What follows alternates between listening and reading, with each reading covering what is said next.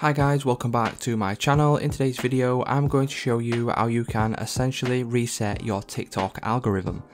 So to reset your TikTok algorithm, there is a couple of things you can do. So the first thing we need to do is obviously head over to our TikTok app.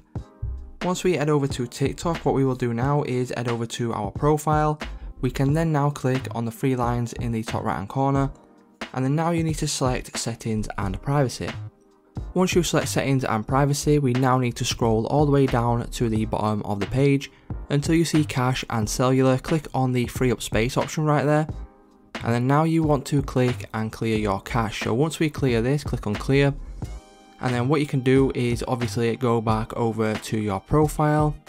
So once we've headed over to our profile now, what we can do is head over to our light section, click on that and then as you can see you'll see all of your liked videos and what we want to just start doing now is start unliking content that we no longer want to see. So for example if I unlike this right here I will go ahead and unlike this right here and I can go ahead and unlike this right here.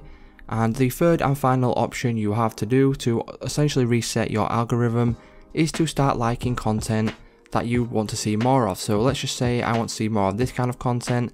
Just go ahead and like the content that you want to see and what that will do is it will essentially reset your algorithm and show you more relevant content based on the stuff you are liking, the stuff that you are watching and stuff like that. So it's just that simple guys, if this video did help you out, please leave a like on today's video and I'll see you in the next one.